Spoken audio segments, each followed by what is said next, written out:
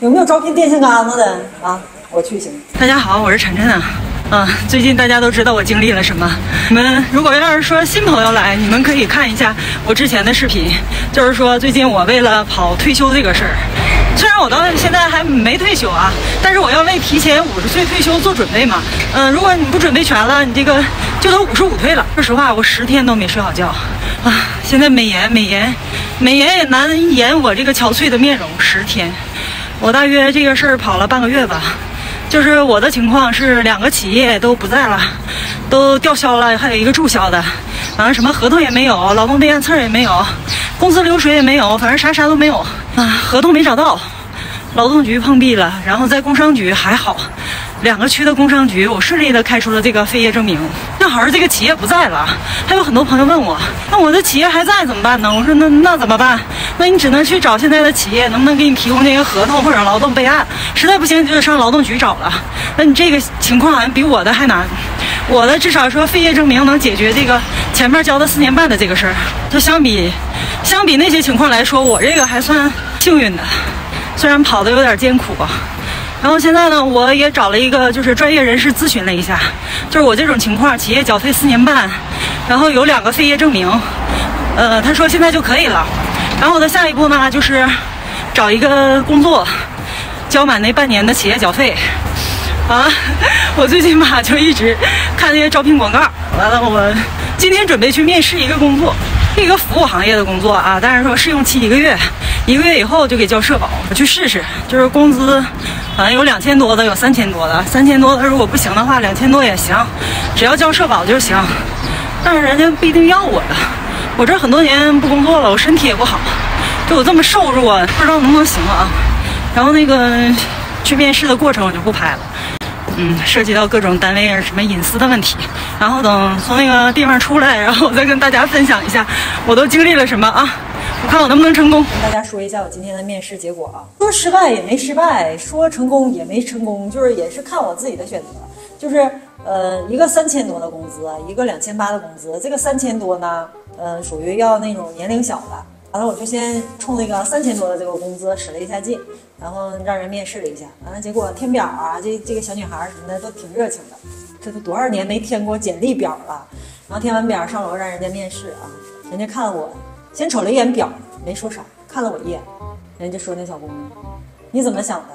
你找这么高的个儿啊？那我把领导都显没了吗？啊，我们领导才一米七，你找个一米七七的？那小姑娘当时瞬间可尴尬了。实际我倒是还挺淡然的，说这个三千多工资这个不行，两千八的这个可以啊，那个没什么身高的要求。我出来了，我就安慰那个小女孩啊，我说，哎呀，真不好意思给你添麻烦了啊，那个那还让领导说一顿。我说我这个人我已经习以为常了。他说咋的呢？我说我就是年轻的时候，呃，应聘过空姐，应聘过大巴的客服，就是都是因为这个身高的问题啊。空姐当时是要一米七四以下的，然后我不行。然后当时黑龙江有一个特别有名的大巴公司，我跟我一个女朋友去面试去了。我一米七七，她一米七五，人家那个也是一个女领导说：“哎呀，你俩真的就条件什么的真真好，但是啥都行。”就是太高了，啊，我俩就灰溜溜的回去了。你说有啥招啊？太高了也是问题吗？太高了也是缺点。是在那个飞机公共交通工具上会有身高的限制，为啥呢？是因为他们怕这个把这个飞机或者是大巴显得太矮了。你一米六十多往那一站，这个飞机好像好大呀。但是你一米七十多往那一站啊，这个飞机就特别小，尤其是那种廉价航空的小飞机啊。那你说这玩意儿就不能跟国际接轨吗？人国外那空姐都有身高要求吗？我不知道啊。但是反正在国内就是不要你超高的，就我这种好多行业都不要，多么尴尬的一个事情。就是正常人吧，可能我填表的时候，他们这边招聘这帮人觉得，哎呀个儿高好像应该能形象挺好啊什么的。但是到人领导那块儿，人家不同意。好吧，是我的错，身高也是我的错，我有啥招？个儿太高，还好多工作干不了呢。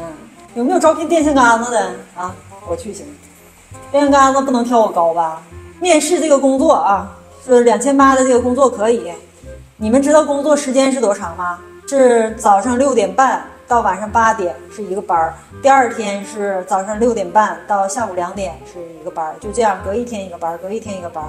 但是休大礼拜和法定双休，一个月以后转正，转正以后给你交五险，就是这个工作时长我恐怕是坚持不下来，要站着，不站着的时候也得干活。那如果要是说一一天十四个小时的工作时长的话，我真的这种身体状况坚持不下来，腰也不好，就算是勉强的干满一个月，估计我半条命也没了。也不是我挑剔啊，真的，这个十四个小时的工作时长，一般人也受不了。你们说是不是？你说啊，就这么多年啊，你说我个高遇到了多少尴尬的事儿？小时候被强制送去打篮球嘛，我还不愿意去啊。找工作，超高的不要啊。买衣服，能穿的衣服袖子。买鞋，买裤子，全都是困难。衣服幺七五的，鞋。以前穿三九的啊，现在得穿四零的。四零的鞋呢，国内还买不着，我还只能买一些大牌子，什么爱步啊，什么，嗯，那个奇乐啊之类的牌子，三十九码的还能穿上。完，就是国产的这些牌子啊，三九的穿不了，四零的没有，一箱里边就只有一双三九。所以这鞋，要不然我说我那双登山鞋，我都去换底儿去了。可这一双鞋好不容易买着的呀，你要是把这鞋扔了，你想再买一双，别想了。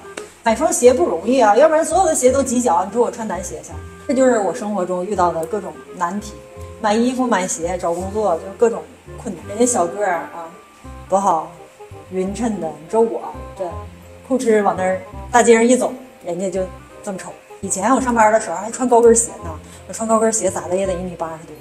完了以前穿高跟鞋坐公交，那万众瞩目，所有人都这么瞅我，真高。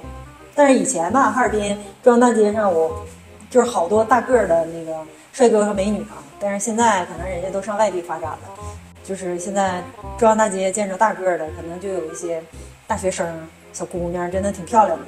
但是真的是不多了。一零年之前吧，那真的是中央大街帅哥美女如云呢，你就在那看吧，贼养眼。现在没有了，找工作现在有点难呐。三十五岁之前的人能正常找个工作。嗯，三十五岁到四十五岁之间呢，就能只能找到什么管理层啊、物业呀这种工作。物业还大部分要男的，还不要女的。然后呢，四十四十五岁以后呢，就只能干清洁工了。反正现在在这个职场就是这么一个现状。行吧，今天就说这么多，拜拜了，朋友们。喜欢我的视频，记得点赞、关注、评论、转发啊！再见，希望你们在退休的路上越挫越勇，把能准备的都准备了，然后大家一切顺利，拜拜。